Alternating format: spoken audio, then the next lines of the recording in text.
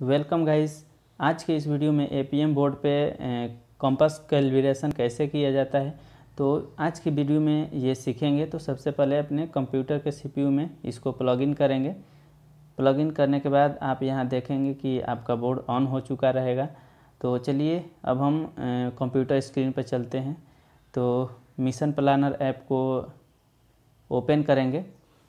तो campus calibration दो प्रकार से होता है, एक जीपीएस के साथ और एक विदाउट जीपीएस के, क्योंकि हर एक अपना बोर्ड में एक कॉम्पस लगा हुआ रहता है और जीपीएस बोर्ड जीपीएस में भी कॉम्पस रहता है। तो आज इस वीडियो में विदाउट कॉम्पस का हम कैलिब्रेट करने वाले हैं। तो चलिए, पहले इसको ओपन कर लेते हैं।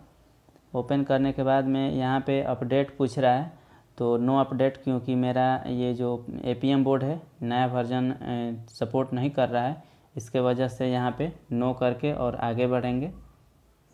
तो यहाँ पे नो करने के बाद में इसको कनेक्ट करेंगे अपने बोर्ड को। तो यहाँ से यहाँ से मेरा ऑटो सेलेक्ट होगा। ऑटो सेलेक्ट करके और फिर कनेक्ट को क्लिक करेंगे। इसके बाद मेरा बोर्ड कनेक्ट होना शुरू करेगा। तो नेक्स्ट वीडियो में आपको जीपीएस के साथ कैलिब्रेट करके दिखाएँगे। तो थोड़ा सा टाइम लेता है। तो यहाँ पे कनेक्ट करने के बाद में यहाँ पे अपना लोकेशन देख लेंगे।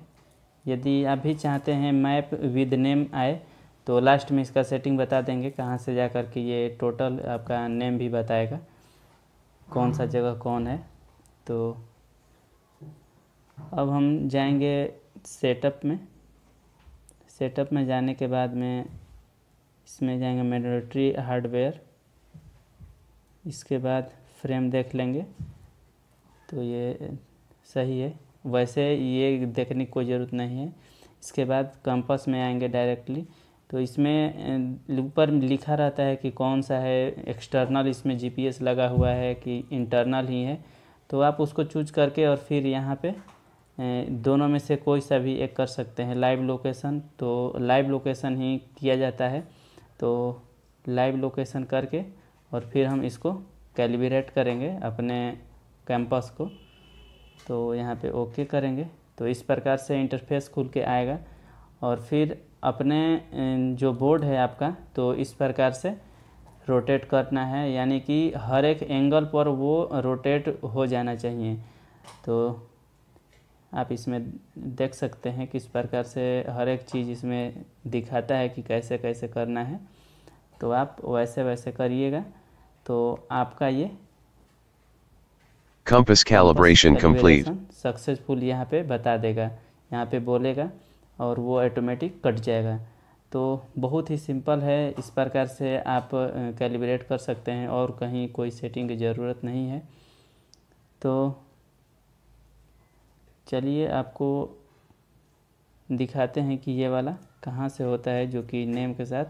तो इसमें आ जाना है। इसमें आने के बाद में ऊपर देख सकते हैं गूगल हाइब्रिड तो यहाँ पे बहुत सारे मैप्स हैं, उसको सेलेक्ट करके आप देख सकते हैं कि किस प्रकार से कैसा इसमें शो हो रहा है। तो गाइज़ आई होप ये वीडियो आपको अच्छा लगा हो। तो प्लीज़ चैनल को सब्सक्राइब और वीडियो को शेयर करना नहीं भूलें। तो मिलते हैं अब नेक्स्ट वीडियो में। So take care